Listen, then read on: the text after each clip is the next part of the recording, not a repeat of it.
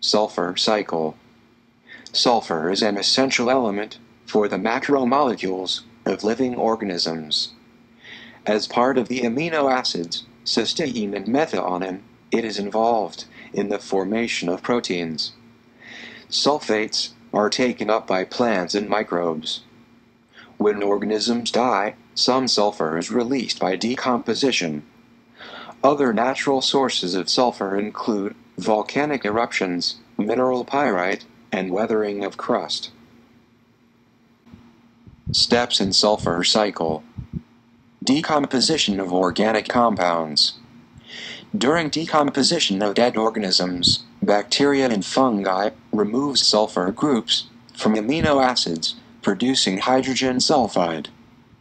Oxidation of hydrogen sulfide to elemental sulfur. Hydrogen sulfide is oxidized to elemental sulfur by bacteria.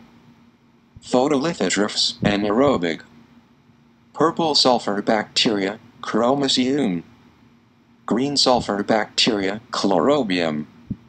Enzyme, membrane-bound, quinone oxidoreductase. Oxidation of elemental sulfur into sulfates. Elemental sulfur, present in the soil, cannot be utilized directly by plants, it is converted into sulfates. Chemolithoautotrophs aerobic.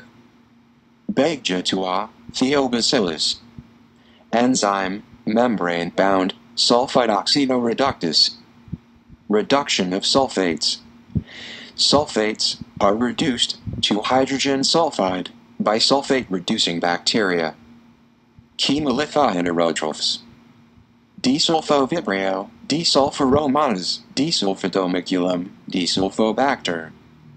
Enzyme, membrane-bound, sulfite reductase.